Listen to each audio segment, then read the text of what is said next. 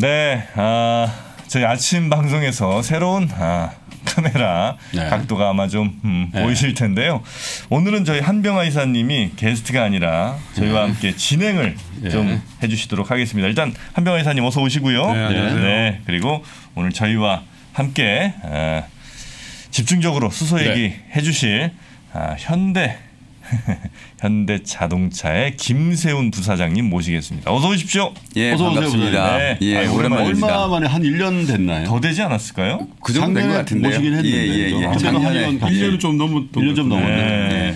근데 제가 사실 감회가 되게 새로운 게 우리 부사님 처음 모신 게 2019년이었잖아요. 예. 그랬죠. 그때는요, 네, 네, 네. 솔직히 아. 수소 이게 뭐 되겠습니까? 이런 이런 지금도 그렇게 얘기하시는 분들 아니, 많습니다. 저- 아니, 근데 저희는 이제 실감하는 게 예. 굉장히 많이 바뀌었어요. 맞아요. 예. 적어도 우리 3프로의 뭐 한 150만 구독자분들은 음. 야 수소 어 이거 진짜 우리 미래 먹거리네 이런 생각을 많이 하시는데 네. 그래서 사실은 어쩌면 그 한 2, 3년 동안에 급격한 변화를 선도해 오신 입장이시니까 오늘은 이제 자동차에 관련된 얘기를 주로 하겠습니다만은 예. 수소 인프라 전반적인 얘기도 같이 좀 곁들여서 좀 했으면 좋겠는데 네. 일단 진짜로 저 부사님이 이제 그 수소 일을 오래 하셨습니다만은 정말 많이 변하고 있긴 있습니까 어떻습니까?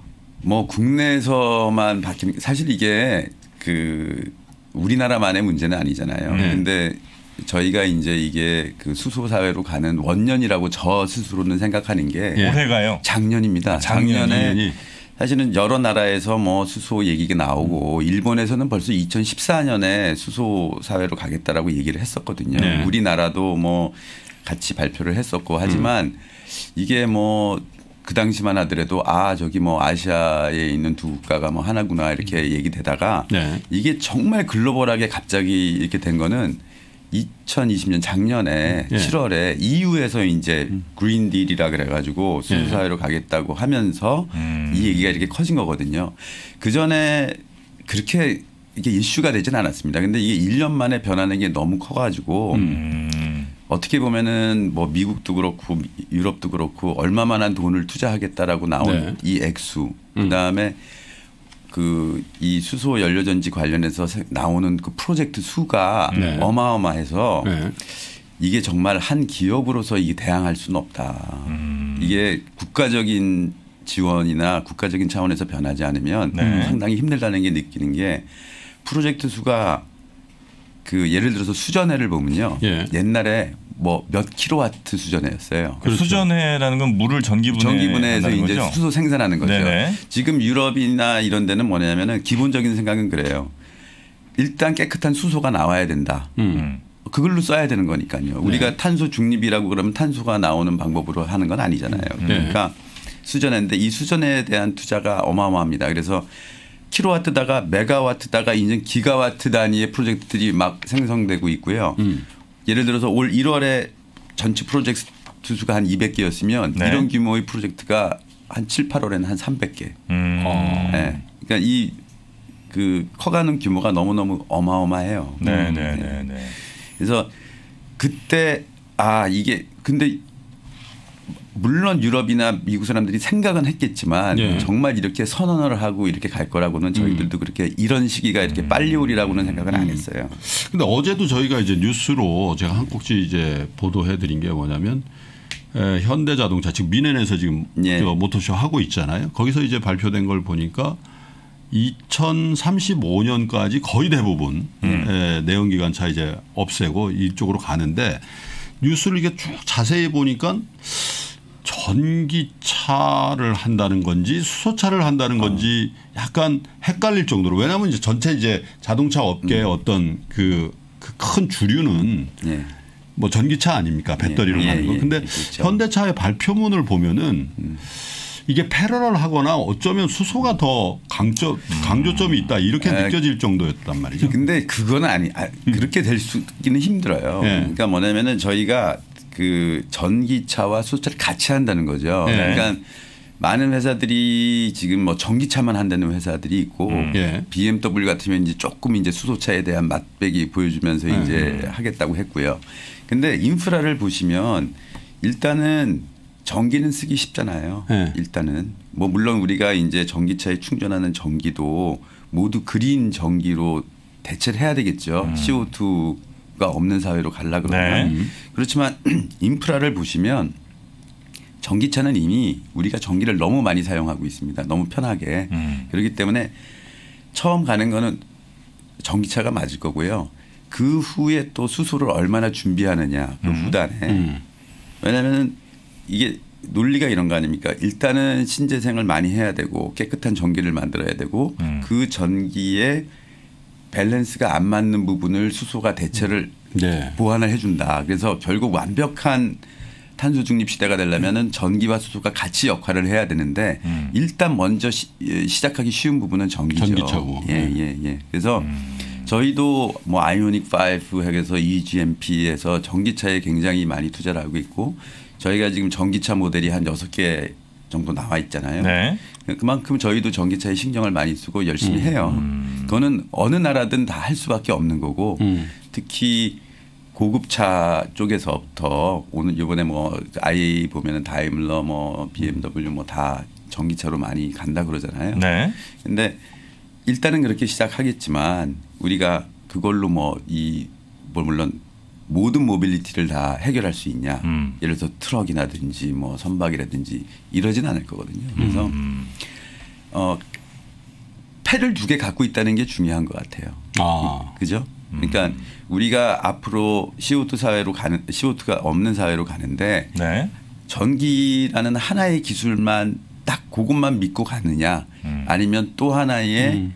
그 대체 방안이 있는 음. 카드를 또 갖고 가느냐 둘이 네. 같이 갔을 때 오히려 시너지가 폭발하는. 그럴 거라고 생각합니다. 왜냐하면 또 지역에 따라 다를 수 있잖아요. 음. 네. 그러니까 저희가 생각하는 건 뭐냐면 어, 각 나라별로 지금 에너지의 정책을 어떻게 갖고 가느냐 하는 게 되게 중요할 것 같아요. 네. 예, 우리나라 입장에서 보면은 우리나라에서 앞으로는 벌써 발표를 하고 법제화가 되지 않았습니까? 뭐 네. 35% 30년까지 CO2 줄인다. 그거를 어떻게 달성할 수 있을까? 네. 거기는 아마 한명화 연구위원님이 더 훨씬 더 많은 뭐 정보를 갖고 계실 텐데 네. 과연 우리나라의 정책은 뭐고 우리나라에서 어 신재생도 많이 해야 되고 네. 하지만 어, 과연 우리나라의 입장에서 우리나라의 자연 조건에서 35%를 달성하고 궁극적으로 2050년에 탄소 중립이 되려면 네. 어떤 에너지의 밸런스를 갖고 가야 되냐가 굉장히 네. 중요할 것 같고 저희 입장에서는 그래요. 다른 대안이 더 있을까? 우리가 수소를 그러니까 탄소가 없는 거는 신재생하고 신재생밖에 없고 네. 신재생을 우리가 어떻게든 써야 되는데 우리가 그거를 우리가 스스로 생산할 수는 없고 그러면 갖고 와야 되는데 어디서 그렇죠. 수입을 해야 되는데 수입할 수 있는 방법이 그걸 다시 뭐 탄소를 붙여서 갖고 오는 건 아닐 거고 음. 그렇다는 거는 수소밖에 그 대안이 없지 않을까라는 생각을 하는 거죠. 네. 근데 패를 두 개 갖고 있는 게 유리한 건 맞습니까? 그러니까 이게 어떤 회사가 어 뭐 수소, 전기 뭐, 열, 네. 뭐 아니면 뭐 과거의 어떤 자동차까지 다 이렇게 갖고 가는 게 음. 예, 그게 더 어, 사- 뭐 시장에서 가치도 인정받고 음. 하는데 더 괜찮은 건지 아니면 차라리 좀 나눠서 가는 게 더 어, 이런 거죠. 그 여러 가지 기술이 있다 그러면 네. 거기서 선택과 집중 뭐 이런 거 하겠죠. 근데 우리가 일을 하다 보면은 항상 plan B는 있어야 되고 그죠. 음. 그리고 그 plan B가 뭐 진짜 이게 안 됐을 때 하는 게 아니고 지금 수소가 저희가 이제 특히 그 이번에 그 저희가 Hydrogen Wave 하면서 네. 트럭하고 이렇게 상용차를 많이 보여드렸잖아요. 음. 많은 분들이 그래요. 뭐뭐 어 전기차 이번에 고속 전기차도 나저 저 배터리랑 이제 수소랑 조합한 것도 나왔지만 연료 전지는 좀 어 아주 고출력을 낸다기보다는 네. steady하게 그러니까 음. 지속적으로 수소가 공급하는 한 계속해서 에너지를 낼 수 있기 때문에 음. 굉장히 장거리 운송이나 좀 예? 고출력이 아주 그냥 뭐뭐 진짜 슈퍼카처럼 그렇진 않지만 음. 계속해서 운행하는 데는 굉장히 유리한 면이 있거든요. 네. 그래서 이게 전기차가 팍 되면 수소차가 다 죽느냐 이게 아니고 음. 또 전기차가 죽어야 뭐 수소가 된다 이게 아니고 어. 같이 공존할 거라는 거죠. 네. 지금 이제 부사장님 말씀하신 게 굉장히 이제 중요한 트렌드예요. 네. 글로벌 트렌드가 어 이게 탄소 중립으로 가는 길이 너무 사실 어떻게 보면 불가능에 가깝거든요. 우리가 뭐 어쩔 수 없이 탄소를 배출하는 많은 부분들이 있잖아요. 네. 그렇죠. 근데 이제 그거를 그것까지도 될 수 있으면 끝까지 낮춰야 되고 음. 정 못하면 이제 다른 상쇄하는 투자까지 해야 되는 거니까. 음. 네. 그래서 이제 주요 국가들의 정책 트렌드들이 모든 기술들을 중립적으로 놓고 음, 정책을 만들고 있어요. 네. 그래서 미국 같은 케이스는 이번에 이제 어, 인프라 부양안에 처음으로 수소와 관련된 그 이제 보조금이 들어갑니다. 네. 약한 95억 달러 정도가 책정이 됐는데 수소 허브를 만들어요. 네개 이상의 허브를 만드는데 아주 다양한 허브. 이쪽은 교통 부분, 수소 교통, 이쪽은 네. 또 발전, 음. 또 이쪽은 상업용. 음. 그리고 수소를 만드는 것도 우리는 그냥 그린 수소만 지금 생각하고 있잖아요. 네. 근데 천연가스 석탄으로 만들 때 carbon capture를 달도록 음. 음. 또는 뭐 한쪽에서는 또 원전을 이용해서 수소를 만들게 하고 음. 그러니까 이게 너무 어려운 길이다 보니까 음. 앞으로 한 10년 15년 동안은 여러 가지 기술들을 써가면서 네. 한번 경쟁을 해보자 이거죠. 음. 그래서 결국은 살아남는 부분이 되는 건데 뭐 수소는 사실은 맨 마지막 단에 있는 수소차 차든 어떤 뭐 수소를 이용한 여러 가지 분산 전원이든 이런 것들은 음. 뭐 최종적으로 살아남을 수밖에 없는 부분이죠. 네. 수소를 어떻게 만드는가 하는 부분들은 아마 시간이 좀 지나면서 음. 하나로 모아지게 될큰 거는. 그림으로서의 수소 사회라든지 수소 경제에 대한 얘기는 뭐 사실은 궁금하긴 한데 음. 부사님하고 제한된 시간에 그걸 다 하려면 이제 시간이 모자라서 이제 자동차 부분이 아마 우리 투자자 여러분들 그게 제일 관심이 있을 거예요. 실제로 이제 에, 수소의 그 차- 차에 대한 투자에 아픔도 있었고 뭐 그러다 보니까 네. 아픔이 있으셨나요? 아니 이제 현대차가 그렇다는 게 아니라 저 있잖아요. 저. 아니, 현대차가 그렇다는 게 아니라 저 예. 미국에 아픔이 있었던 수차도 있고 하잖아요. 니콜라 네. 니콜라. 아, 예, 예, 예. 그래서 과연 이게 진짜 진짜 이제 이 현대차의 그, 그 괄목할 만한 비즈니스 유닛으로 또 현대차의 재무제표에 음. 에 정말 그 획기적인 도움이 되는 그 비즈니스 모델로서 지금 진도가 어느 정도 나갔고 앞으로 어느 정도 기다리면 에, 수소차가 현대차 투자자에게 의미 있는 진짜 에, 레비뉴도 그렇고 뭐 프라핏도 그렇고 보여줄 수 있는 건지에 대한 그게 가장 궁금할 것 같아요. 근데 그건 좀 장기적으로 생각하셔야 될 것 같아요. 그 왜냐하면은 그 지금 이제 서서히 유럽에 있는 회사들도 뭐 이제 이제 좀 들은 얘기를 좀, 좀 말씀드리면 예. 네. 전기차만 하겠다 그러지만 다- 사실은 수소차 연구도 다 하고 있거든요. 음. 안 하겠습니까? 그 그런 회사들이. 음. 그래서 누구나 다 그 시기적으로 언젠가는 올 거라고는 생각을 하- 하는 것 같아요. 네. 그런데 그 시간은 언제냐 딱 정하기는 힘들죠. 하지만 뭐 저희 입장에서는 계속해서 기술 개발해서 항상 준비된 상태로 있어야 된다고 봐요. 그래서 음. 어저께 말씀드린 것도 저희가 그 연료전지가 뭐 왜 안 되냐면 아직 굉장히 비싼 기술이다라고 음. 얘기를 하는데 저희가 한번 이렇게 그러면은 정말 이게 비싸야 되는 기술이냐? 음. 라는 의문이 들잖아요. 음. 그래서 우리가 그 연료전지 시스템에 들어가는 그 소재들 네. 결국은 자동차 기술은 대량 양산이 되면은 이 가격은 원소재 가격에 굉장히 가깝게 갈 수밖에 없잖아요. 그게 마지막 그 리밋 제한 조건이라고 봐요. 네. 그래서 저희가 이제 거기에 뭐가 들어가 있는 이렇게 보면은 뭐 스틸, 철강, 뭐 스테인리스 스틸, 네. rubber, 백금 뭐 백금은 근데 굉장히 조금 들어가잖아요. 그 다음에 플라스틱, 음. 알루미늄. 네. 일반 우리가 지금 쓰는 소재들이 대부분이에요. 음. 그러니까 배터리나 이런 데는 우리가 좀 개- 계속 뭐 그 원소재 물질들이 뭐 니켈, 크롬 뭐 이렇게 여러 가지의 관리를 해야 되잖아요. 음. 어, 근데 연료전지를 보면은 거기에 들어가는 물질이 대부분이 일반적으로 쓰는 물질이다. 어. 그 다음에 백금도 우리가 이미 디젤이나 가솔린 차에서 많이 그 촉매로 쓰여 있던 거기 때문에 그리고 그 양이 많이 줄었기 때문에 그렇게 리스크가 그렇게 크지 않다. 음. 그 다음에 어 연료전지에 들어가는 또 특징적인 게 막이거든요. 전해질 막이라는 게 차에 들어가는 양이 몇백 그램 정도예요. 네. 예, 왜냐하면 그게 보통 보시면은 랩 같이 이렇게 비닐루잖아요. 음. 예, 비닐루 랩인데 우리 주방에서 쓰는 랩하고 거의 비슷한 느낌이 나는 거예요. 아, 그래서? 그걸 몇뭐 10년 메타 쓰다 그래도 그 무게로 보면은 그렇게 안 되거든요. 그래서 결론적으로 우리가 아직 어 생산 기술이 준비가 안 돼 있고 생산량이 적어서. 그 적어서 그렇지 네. 언제든지 이 시장이 열리면은 원가는 충분히 떨어질 수 있는 거다. 음. 그 아직까지 우리가 더 아, 꼭 개발해야 될 비싸야 된다는 생각은 안 해도 된다. 안 해도 된다는 거죠. 음. 근데 그렇게 이때까지 인식을 하고 있어요. 예. 왜냐하면 뭐 몇십 대 이렇게 만들었는데 그거 한 대 뭐 몇 억 안 하겠습니까? 이- 이- 그, 그 많은 기술을 투입하고 어, 생산량도 없는데 그걸 만들려고 장비를 만들어야 되는데 장비 가격이 뭐 나오는 물건보다 훨씬 더 비쌀 텐데요. 그게 다 녹여 들어가야 되기 때문에 비싸지만 원재료적으로 보면은 비쌀 이유는 없다는 거죠. 예. 그래서 그리고 또 하나 어 갑자기 수요가 늘어나면 수요가 늘어나면 더 원가가 절감될 수밖에 없다. 이게 원래대로 따지면은 일반적인 공산품은 그럴 수밖에 없잖아요. 네. 우리가 자동차가 대량 생산해서 가격을 줄이는 게 그게 기본적인 원리인데 거기에 어떤 원소재의 그, 그 생산이 좌지우지되면 은 굉장히 불안 요소가 있는 거잖아요. 그렇죠. 그래서 그런 요소들이 좀 작다.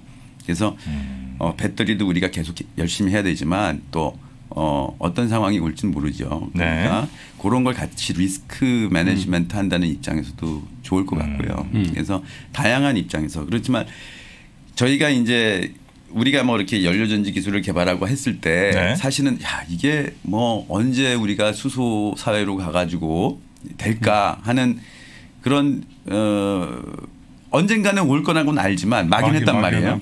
근데 20년에 빵 터져 준 거죠. 어떻게 그렇죠. 보면 20년에 유럽이 가겠다 그러고 뭐뭐 가겠다 그러고 그러니까. 수- 한다니까. 그리고 이번에 Fit for 55라고 그 유럽에서 지금 이 55% 절감한다는 그 계획안에 보면 전기차 인프라도 60km마다 음. 충전소를 세우겠다. 예.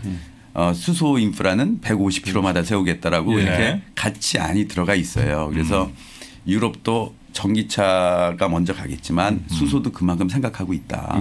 예, 그리고 이게 그 계획이 30년 계획이잖아요. 그렇죠. 그러면 아 30년까지는 이제 유럽에는 한 150km마다 이게 깔리겠구나. 음, 그렇죠. 그러면은 쓰이겠죠. 네. 예, 예. 그래서 생각보다 우리가 좀 긴 호흡으로 봐야 되지 않습니까? 이거는 뭐 에너지가 바- 에너지가 변환하는 뭐 혁명적인 사건이 지금 우리는 눈앞에 두고 있기 때문에 네.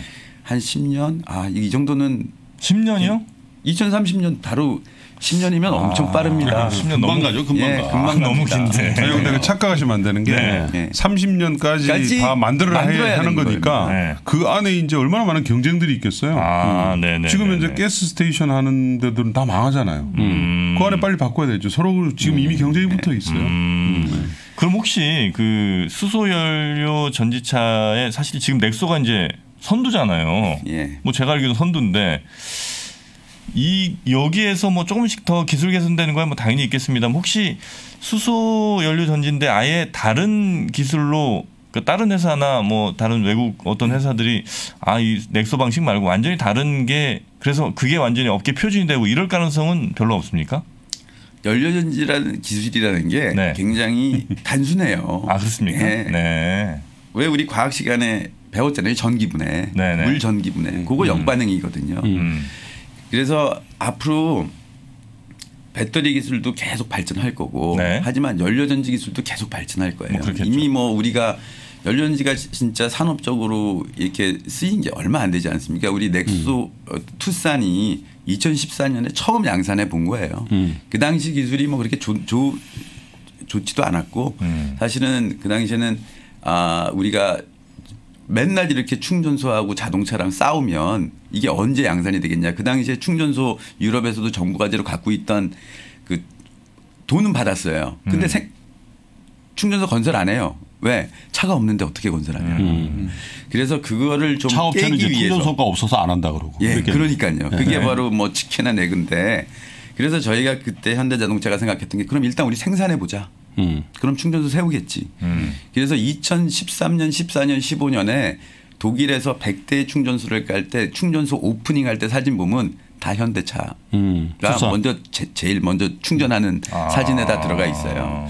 그래서 현대자동차가 그때 굉장히 큰 결심을 했죠. 아무도 양산을 안 하는데 비록 부족한 기술이지만 일단 충전소와 이런 관계를 갖다가 깨기 위해서 시작을 한 거고. 네. 그죠? 그래서 그 이후로 굉장히 충전소 건설이라는 게 이런 게 그다음에 이제 도요다도 양산하고 뭐 혼다, 혼다도 양산하고 해가지고 그나마 충전소가 지금까지 이렇게 왔다고 저는 있는 봐요. 네. 아주 미미하죠. 그렇지만 그래서 그 정도의 산업계의 노력으로는 힘들고요. 음. 그래서 20년에 유럽 그다음에 이번에 바이든 음. 정부 들어와서 또 수소 얘기가 나오고요. 네. 그래서 아마 좀 가속화되지 않을까. 음. 왜, 왜냐하면 대안이 별로 없으니까. 한병화 의원 뭐 핵심 질문을 드리겠습니다. 네, 핵심 질문. 어저께 이제 그 우리 Hydrogen 예. Wave라고 이제 행사 제목을 붙이고 뭐 음. 했, 했었는데 첫 번째 드는 질문은 왜 굳이 Hydrogen Wave라고 하셨는지. 아 Hydrogen Wave요. 네. 이제 시작이란 얘기죠. 이제 물결이 올 거라는 얘기예요. 근데 저희가 원래 이 Hydrogen Wave라는 걸 처음 만, 시작한다고 이 기획을 할 때는 어떤 생각이었냐면은 저희가 이제 Hydrogen Council이라고 이제 저희 회사도 이제 수소위원회 수소위원회. 거기 참여하고 있는데 일반 대중들이 수소에 대한 거를 너무 모르 잘 모르시는 것 같아요. 음. 우리가 배터리는 우리가 맨날 일상에서 쓰고 하니까 참 너무 잘 알잖아요. 네. 예, 배터리는. 뭐 그리고 에, 뭐 요, 요즘 보면 유튜브 분들이 배터리에 대한 저- 완전히 다 전문가셔 가지고 아무리 어려운 발표가 나도 막 해설해서 다 말씀하시는데 과연 연료전지가 그 속성이 뭐고 연료전지 기술이 뭔지에 대해서 아는, 아시는 분들이 얼마나 될까. 그래서 연료전지를 좀 알려드려야 되겠다는 입장에서 제가 발표할 때도 연료전지 원리 뭐 이런 것도 좀 설명을 곁들여가면서 한 거예요. 근데 그랬는데 어 그렇게 시작은 했지만 보니까 타이밍이 아 이때 우리가 좀 어. 전 세계적으로도 수소 얘기가 많이 나오고 우리나라도 이런 논의들이 많이 시작되고 그래서 좀 어 크게 우리 의미랑 맞으니까 한번 좀 크게 우리가 뭘 하고 있는지 좀 보여주자. 그래가지고 이번에 트레일러 드론 컨셉도 있고 그다음에 우리가 그 와중에 뭐 우리가 트럭도 개발해서 스위스에도 보냈고 그래서 이걸 다 같이 한번 보여주자는 입장에서 이런 이벤트를 마련했고요. 오늘 그 수소 Hydrogen Business Summit이라고 있는데 네, 네. 예, 오늘 지금 좀 있으면 열리겠지만 네. 우리나라 21개 기업들이 그 수소 사회를 위해서 어떻게 기여할까, 어떻게 같이 협력할까에 대한 그런 회의가 열리고요. 음.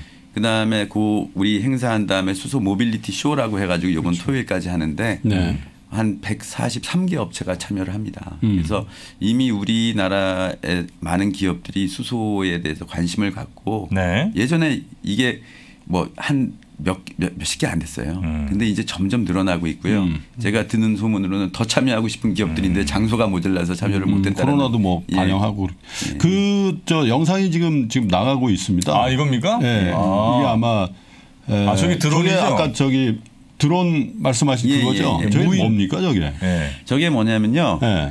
앞으로 물류 이 기차의 복이라고 있어요.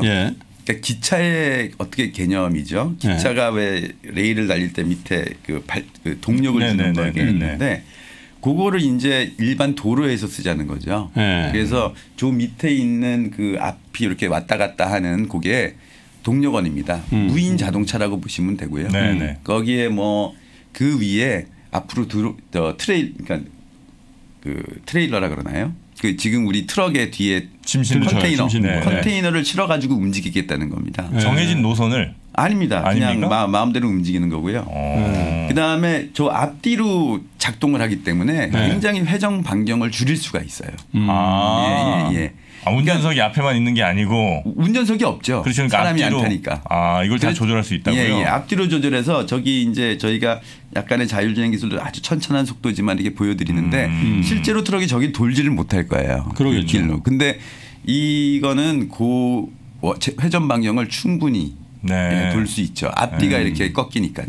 아. 그래서 자율주행 기술, 그 다음에 우리의 뭐 연료전지 기술이 뭐 powertrain도 들어가니까 연료전지 기술, 그죠? 그 네, 다음에 네, 뭐 네, 네.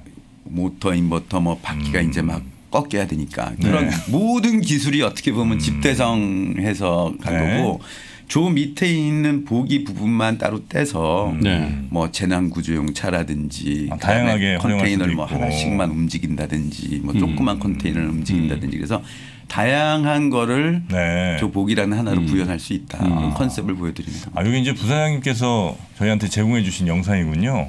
아, 어쩐지 그런가요? 현대차 로고가 아주 오랫동안 나옵니다. 네. 너무 많이 나옵니다. 네. 어제 발표하신 거예요. 내용 중에서 네. 네. 전 이제 좀 궁금한 것은 이제 차세대 연료전지, 예. 연료전지에 대해서 뭐 언론에서는 뭐 값은 반으로 하고 뭐 성능은 두 배로 한다 뭐 이렇게 나오는데 뭐 부장님 아, 그게- 발표하신 거에는 없더라고요. 아니 없는데 그게 이제 섞여 있는 거예요. 네. 네, 뭐냐면은 저희가 차기에는 두 개의 시스템으로 갈라 그래요. 음. 하나는 100kW급, 200kg. 하나는 200kW급. 음.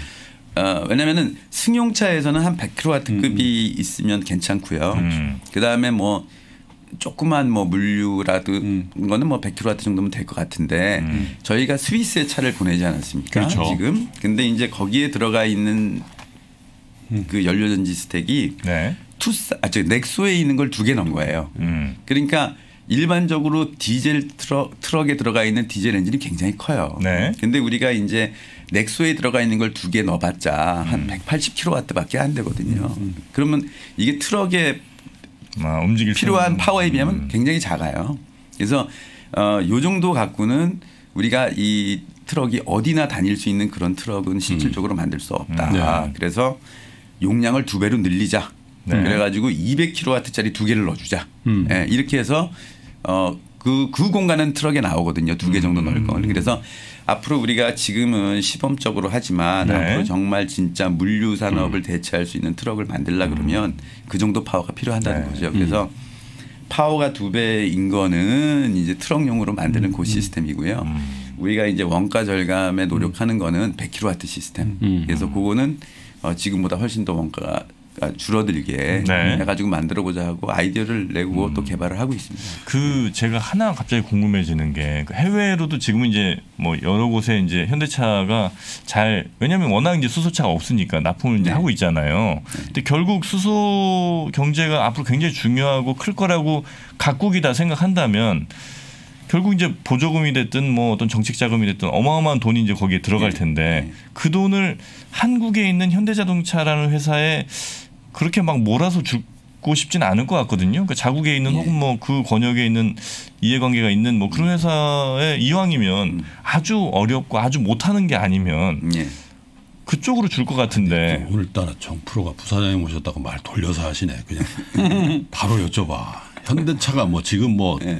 규모가 작으니까 여기 top이라고 하지 이제 시장이 형성되면 뭐 그거 어, 어 맞아요. 예우- 예우를 좀 예, 예. 아, 무슨 말씀인지 알겠습니다. 아니 뭐 네, 네. 처음 뵙는. 그 사실은 네.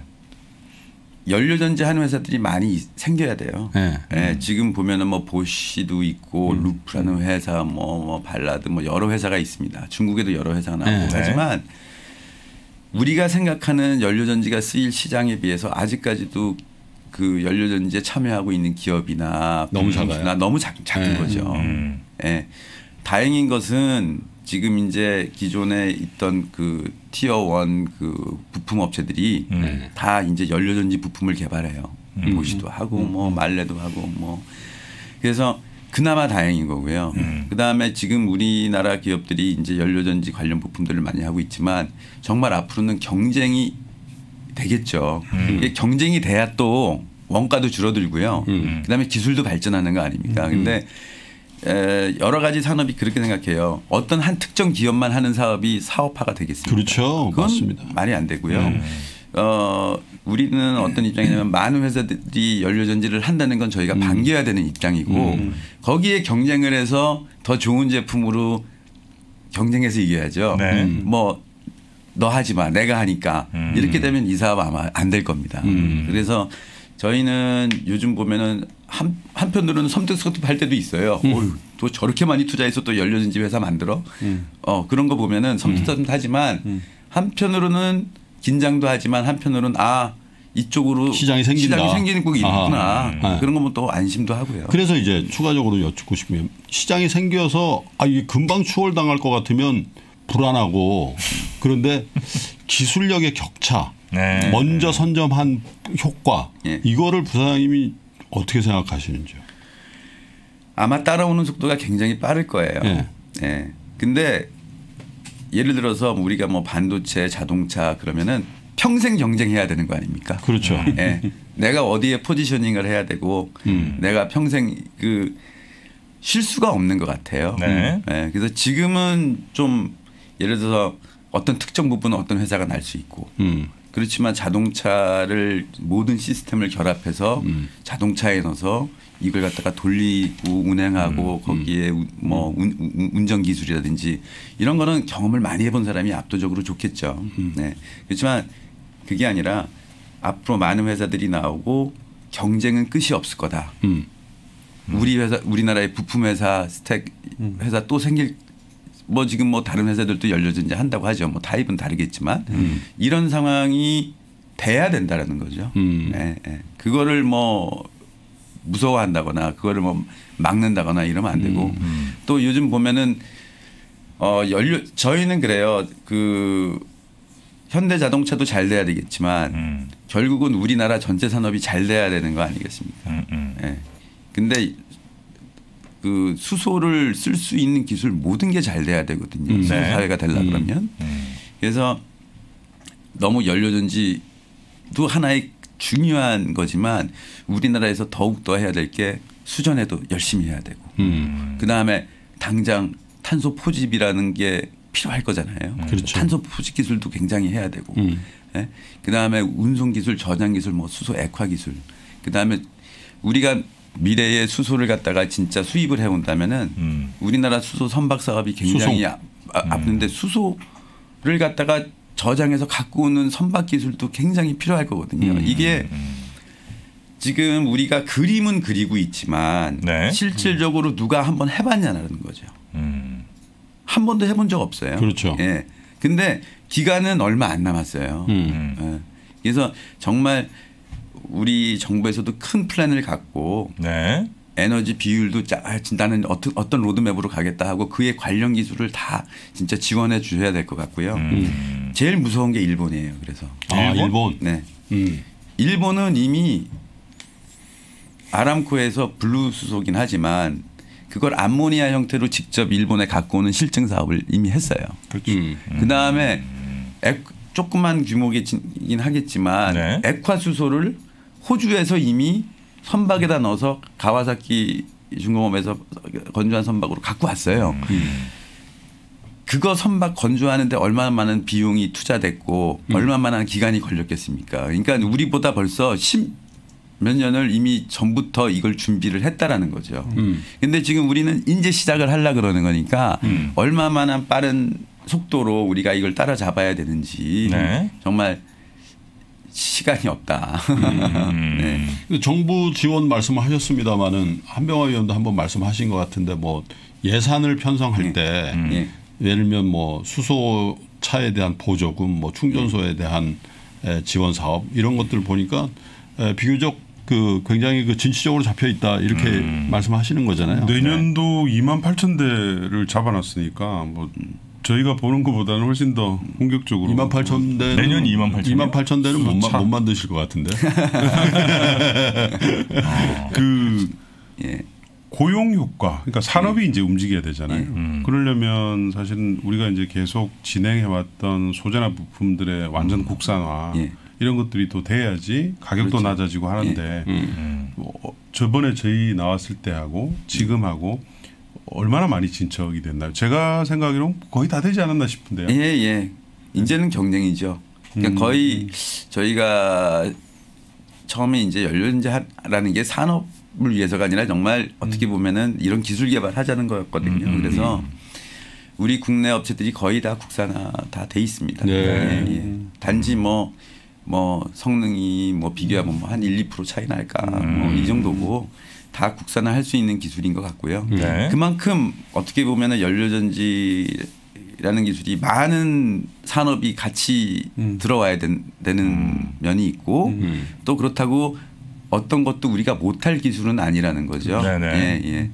그 많은 부분이 분들이 그냥 연료전지 스택만 생각하시는데 음. 연료전지에는 연료전지는 아주 패시브한 거예요. 자기는 아무 기능 별로 없습니다. 그냥 수소를 전기로 바꿔주는 기능만 있고 거기에 수소 넣어줘야 되죠. 공기 넣어줘야 되죠. 음. 그다음에 여- 열도 열- 열 열도 빼내가지고 이제 쿨링도 시켜줘야 되죠. 네네. 이런 여러 가지 기능들이 있는데 거기에 들어가는 부품들은요 음. 기존에 있는 자동차 산업에서 쓰는 부품들하고 거의 똑같아요. 음. 단지 기능이 조금 조금씩 바뀐 것뿐이지 음. 기본 개념이나 이런 제조 기술이나 이런 게 다 똑같아요. 음. 그래서 그런 부품들은 이미 국내에 그 음. 자동차 supplier들이 다 담당을 하고 있습니다. 이미. 네, 네. 그리고 그 부분은 굉장히 가격이 빨리 저감돼요. 아. 왜냐하면 우리가 한번 해본 거니까. 아하. 좀만 바꾸면 예, 되니까. 예, 예. 음. 그래서 예전에는 어 스택이나 연료전지 스택이나 네. 운전장치 부품들이 거의 같은 비중으로 이렇게 비쌌었는데 음. 이 운전장치 부품들의 그 떨어지는 속도는 굉장히 빠르고 왜냐하면 네. 해외 업체들도 같이 경쟁에 들어오고 있기 때문에 음. 예. 그 지금 이 채팅창에서 많은 질문들이 올라와서 짧게 한두 네. 개만 좀 해결하고 넘어가겠습니다. 네. 전달해드리죠. 일단 소프트웨어는 뭐 기존 전기차랑 뭐 크게 다를 게 없는 거죠. 소프트웨어요. 예. 예. 뭐 그렇게 큰 차이는 네, 없습니다. 전기차는 이제 예. 비슷하다 생각하시면 될 것 같고 예. 그리고 어제 도요타가 전고체 배터리 발표를 하면서 뭐 16조 뭐 이렇게 투자를 한다. 네. 그래서 전고차가 전고체 배터리가 이제 완전히 저 상용화되는 거 아니냐는 이제 우려를 하시는 분들이 꽤 많거든요. 여기에 대해서는 혹시 뭐 수소에는 별로 영향 받지 않습니까? 뭐 또 전고체는 또저 네. 배터리하고도 경쟁하고 네. 뭐 수소하고도 경쟁하고 하겠죠. 음. 근데 어쨌든 그 배터리라는 거는 에너지를 저장하는 시스템이고 네. 또전 배터리 자체의 강점이 되게 많아요. 음. 네. 효율도 너무 좋고요. 음. 네. 많은 그 그래서 또 배터리끼리도 경쟁을 할 거고 네. 또 이쪽 분야에 앞으로 엄, 그 그런 하나하나의 아이템 말고도 음. 너무나 많은 투자가 일어납니다. 그러니까 음. 이런 거죠. 뭐 많은 분들이 투자를 하고 싶은데 어, 뭐냐? 사실은 모든 거라고 말씀드리고 싶은 게 뭐냐면은 우리가 에너지가 바뀌면은 음. 다 바뀌게 되거든요. 음. 에너지가 바뀐다는 그렇죠. 거는 어마어마한 변화예요. 그냥 어떤 한 가지 조그만 기술 하나가 바뀌는 게 아니잖아요. 네. 거기에 관련된 모든 게 바뀔 거예요. 음. 네. 그래서 그리고 그, 그 임팩트라든지 아니면은 우리의 심각성 이런 게 네. 우리가 생각하는 것보다 훨씬 커요. 음. 우리가 예를 들어서 탄소를 줄이는데 필요한 모든 기술은 음. 다 유망한 종목이라고 봄- 저는 생각해요. 왜냐하면은 한마디로 이런 거죠. 우리가 35% 탄소 저 CO2를 저감하겠다 그랬는데 만일에 우리가 CO2를 저감하는 기술을 제대로 개발하지 못, 못한다. 음. 그러면은 우리나라 산업을 35% 축소해야 되는 방법밖에 없어요. 음. 극단적으로. 극단적으로 그렇지 않습니까? 네. 생산을 다 35% 줄여야 되는 것밖에 없는 거잖아요. 근데 그렇게 살 수는 없잖아요, 저희가. 음, 그래서 어, 저는 그렇게 생각해요. 많은 분들이 그 여러 분야에 관심을 갖겠지만 네. 정말 에너지의 변환이라는 게 그리고 우리가 CO2를 감축하겠다는 게 얼마나 우리한테 다가올 임팩트가 클지 음. 그 위기를 우리가 어떻게 대응해야 될지를 음. 정말 전 우리나라가 모두 같이 음. 공감대를 형성하고 빨리 나가지 않으면 네네. 마- 우리가 개념 설계를 하고 우리가 음. 어떻게 변해야 될지 개념 설계를 하고 상세 설계를 하고 또 진행을 해야 되지 않습니까? 음. 우리 지금 개념 설계 단계에 있는 것 같은데 음. 빨리 개념을 정립하고 가야 된다. 음. 아니면 나중에 시간이 1년 1년 지나고 나면 어떻게 되겠지 어떻게 되겠지 하다가 나중에 막상 그날이 닥치면 정말 답이 없을 수도 있다. 그 넥소 지금 한 7천만 원 하잖아요. 네. 손해 많이 보고 파냐는 질문이 하나 있습니다. 그렇게 상상하시면 될 것 같습니다. 아 많이 손해. 예, 예, 왜냐하면 그- 그런 거죠. 지금 배터리도 네. 어떻게 보면은 보조금을 좀 받고 전 네. 세계적으로도 아직 보조금 받고 있는 기술입니다. 근데 아, 물론 더 다운돼야 되겠죠. 하지만 아까도 말씀드렸듯이 연료전지는 아직까지 그 단계까지도 아니에요. 네. 지금 저희가 뭐 끽 생산한다는 게 뭐 만 대, 네. 음, 뭐만 오천 대 이 정도 생산하는데 전 세계적으로도. 근데 어떻게 400만 대, 500만 대 생산하는 뭐 전기차와 단가랑 비교할 수가 없다. 거의 뭐 9천만 대 생산하는 내연 기관차하고 음. 그 그게 기술적으로는 된다고 하지만 산업적으로 인프라가 다 같이 그렇죠. 돼야지 그게 아. 떨어지는 건데 그렇겠네요. 저, 예. 그러니까 그거는 그런 관점에서 좀 음. 봐주셨으면 그 좋겠어요. 어느 정도 그 시장이 형성되면 이제 와 이제 황금알을 낳는 거인에 이런 얘기를 들을까요?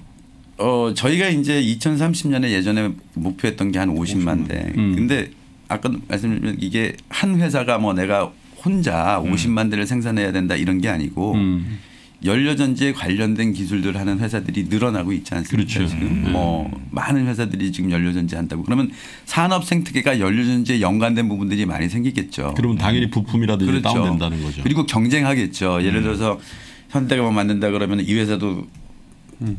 자기 부품 쓰게 하고 싶고 그러면 서로 경쟁을 해서 하는데 음. 어, 떨어질 텐데 아직까지 그런 단계는 운전장치 부품 그렇게 돼 있지만 아직 스택 부품 쪽에서는 그런 단계까지는 음. 지금 못 오히려. 현대자동차 같은 데서 괜찮아 해봐 해봐 해봐 일로 와 해봐 우리가 좀 도와줄 때 이런 이런 이런 장 그건 그거는 뭐 아주 옛날 얘기지만 네. 뭐 비, 그거 그 정도는 좀 이제 넘어간 것 넘어가는. 단계예요? 예, 이제는 어. 다 어, 기업들도 어, 다 이게 앞으로 연료 전지가 앞으로 될 거라고 생각하기 때문에 네. 그 2차, 1차, 2차 부품 업체들이 들어오는 거 아니에요? 네. 이제는 서로 하고 싶어 합니다. 하고 싶어 해요. 어. 다 하고 싶어. 부장님 그 토요타가 얼마 전에 왜 켄터키에다가 어, 수차 그 연료 전지 공장 이제 한- 한다고 발표했잖아요.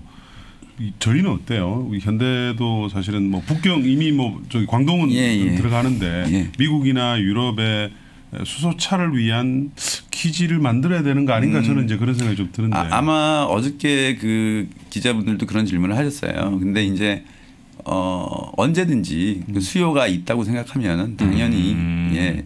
그 왜냐면 지금 뭐 보면은 바이든 정부도 그렇고 유럽도 뭐 배터리 기업들이 이렇게 배터리 공장을 해외에 이렇게 건설하는 걸 보시면 그렇죠. 아마 아실 거예요. 그리고 특히 뭐 요즘은 기후 변화가 너무 심해서 갑자기 저기 가면은 뭐 갑자기 가뭄에 불에 뭐 홍수에 아마 그런 그 리스크 그 지형적인 리스크도 생각을 해야 될 거고 그래서 아마 합리적인 판단을 할 거라고 생각합니다. 회사 차원에서. 음. 해외의 업체들이 예를 들면 뭐 니콜라 같은 케이스가 뭐 최근에 보시하고 어 연지 받는다 뭐 이런 케이스들이 좀 있었잖아요. 어 우리도 뭐 사실은 뭐 이네오스라든지 이런 몇 개 회사들이 있는 거로 아는데 네. 에, 그런 것도 좀 늘어날까요? 예, 뭐 수차 스타트업들이 예. 현대 엔진을 가져간다. 저희가 이제 볼 때는 그러니까 많은 회사들이 이렇게 네. 얘기를 요즘 발표 나오는 거 얘기해 보면 다이물러도 그렇고 다 모든 회사들이 한 2025년에서 2026, 뭐 6, 7년 요 정도를 이제 수소차를 뭐 양산하겠다고 얘기하는 회사들이 많아요. 음. 근데 그게 합리적인 얘기일 수도 있어요. 왜냐하면 이제 유럽에서 수소차 뭐 충전소 구축하겠다 그러면 한 이제 예산 쓸 수 있게 되고 그러면은 구축하면은 뭐한 5년 걸리겠죠. 그럼 그때 시점을 맞춰서 이제 어 수소차를 내놓겠다는 회사들이 많은데 과연 그럴 때 그러면 얼마만큼 그 회사들이 수- 부품을 수급할 수 있고 생산하고 운영할 수 있는 기술이 있느냐. 음. 그래서 어떻게 보면 저희가 좀 일찍 하- 한 거지만 어 저희가 이렇게 뭐 돈 벌고 하는 건 아니잖아요. 네. 이 투자잖아요. 어떻게 보면. 근데 지금까지 그래도 저희나 도요다가 이때까지 이렇게 계속 하고 있어서 지금까지 그 명맥을 유지하고 앞으로 또 25년에 많은 회사들이 들어올 수 있는 음. 자리를 만들어 놓지 않았나 이렇게 생각이 됩니다.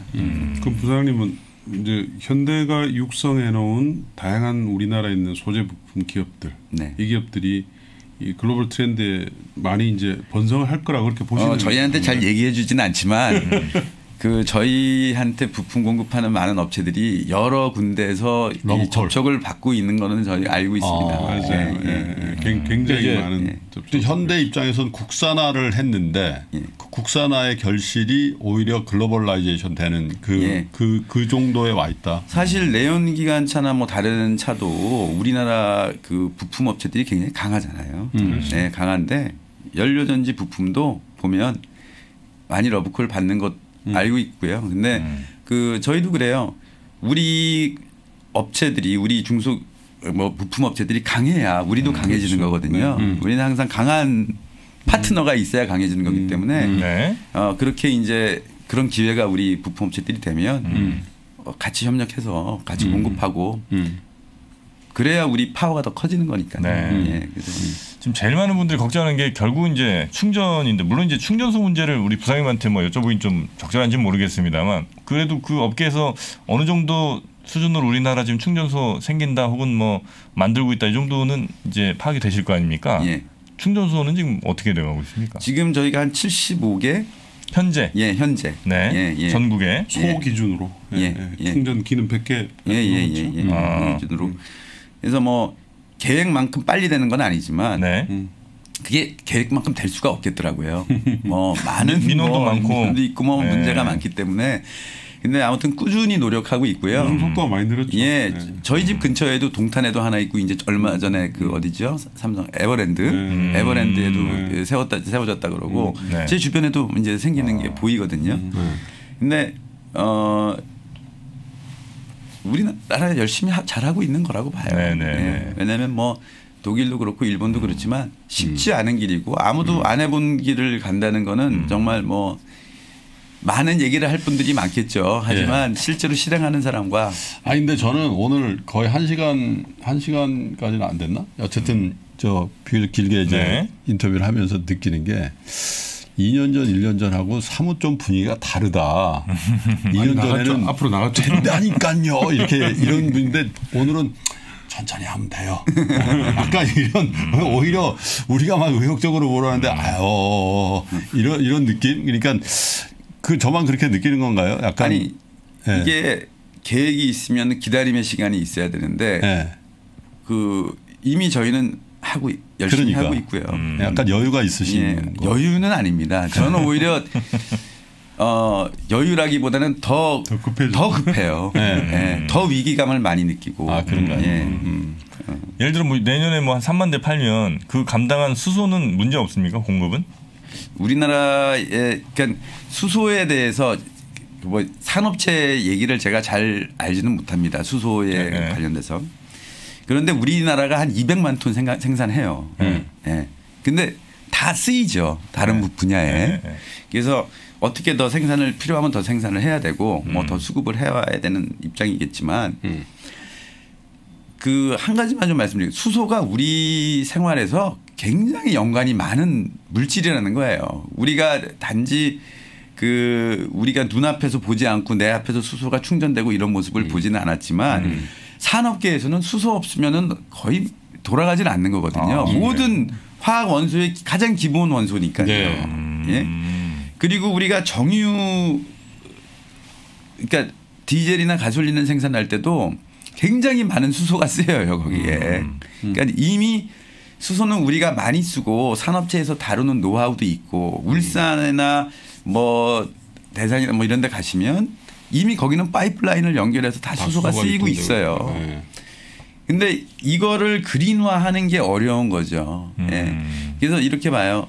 모든 게 한꺼번에 일어날 수는 없지 않습니까? 우리가 궁극적인 목적은 저, 뭐 많은 분들이 수소차가 뭐 수소가 생산되는 게 뭐 탄소를 발생시킨다 뭐 그, 네네네. 그린, 그레이 수소 근데 지금 전기차도 마찬가지인 상황이에요. 음. 왜냐하면 우리가 우리 그리드에 있는 전기가 깨끗한 전기여야 이게 또 의미가 있는 그렇죠. 거고 그렇지만 우리가 그게 다 깨끗해질 때까지 기다릴 수는 없지 않습니까? 네네네. 예. 왜냐하면 어느 순간에 음. 그게 깨끗해질 그 나름대로 로드맵을 갖고 깨끗해지겠지만 우리가 네. 그 기술이 준비돼 있지 않으면 음. 정말 그린이 그린 전기가 되- 되고 그린 수소가 공급될 때 정작 우리가 기술이 없으면 또안 되니까 음. 같이 병행해서 네. 개발시켜 나가야 된다고 음, 봅니다. 알겠습니다. 자 오늘 우리 어, 현대차의 이 김세훈 부사장님, 그러니까 수소 관련된 그 연료전지 사업을 총괄하고 총괄하고 있습니다. 계신 우리 김세훈 부사장님 모시고 어, 오늘 아침 좀 집중적으로 이 음. 관련된 이야기 좀 여쭤 봤고요. 어, 또 수소 어, 차 만들러 또 가셔야 되기 때문에 오늘은 여기서 아니 근데 보내드리도록 진짜, 하겠습니다. 진짜 열심히 해주셔서 네. 에, 뭐 에, 뉴스 이제 자료 화면에 그 현대글로비스 큰 선적 그돼 예, 있잖아요. 예, 예, 예. 거기 뭐 막 타고 있는데 저기 수소차래요. 음, 그런 시기를 좀 빨리 좀 아유, 주십시오. 저희도 그러길 바라겠습니다. 마지막 질문 하나. 네네. 아 네. 수소차를 50만 대 예. 그리고 나머지 20만 대는 다른 용도의 스택을 예, 예. 그렇게 아까 18년에 저희가 발표했죠. 그런 부분들은 잘 되고 있나요? 차 이외 예, 여러 가지 애플리케이션을 보고 있어요. 음. 근데 뭐 예를 들어서 이동용 발전기 그리고 저희가 요번에 저기 ETCR이라고 그 전기차 그 레이스가 있는데 거기에 저희 연료전지 아. 발전기로 충전했어요. 아, 전기차 그 레이싱. 예, 예. 네. 그래서 저희가 생각하는 건 거예요. 앞으로 이제 전기차 충전소도 깔려면 그리드 문제도 있을 수 있고 뭐 멀리 떨어진대 그러잖아요. 그래서 수소 충전소를 만들면 네. 거기서 연료 전지를 하나 놓고 거기서 전기차도 좀 급속 충전하는 그런 뭐 모델이 있었으면 좋겠다라는 생각도 해보고요. 또 저희가 이제 선박 같은데 좀 아, 지금 이제 소형 선박 같은데 연료 전지를 넣어서 지금 선박 쪽에서도 CO2를 갖다가 감축해야 되는 그렇죠. 목표가 굉장히 강하거든요. 그래서 다양한 방법으로 지금 생각하고 있습니다. 네. 알겠습니다. 자, 오늘 저희와 함께 해주신 분은요, 현대자동차의 김세훈 부사장님이었고요. 그리고 저희와 함께 아, 같이 질문해 주시고 네. 진행해 주신 분은 아, 유진투자증권의 한병화 이사님이었습니다. 오늘 두 분 정말 대단히 고맙습니다. 감사합니다, 부사장님. 네, 고맙습니다. 감사합니다. 무더운 여름 바캉스 대신 함께 공부해 보는 거 어떤가요? 무더위를 한 번에 날려줄 cool summer 여름 특가 반값 세일 박병창의 매매 기술을 염블리의 친절한 주식 기초 교육을 신규 구매하시면 평소 듣고 싶던 강의를 50% 50% 할인된 가격에 수강하실 수 있습니다. 네이버에서 페이지2를 검색하세요.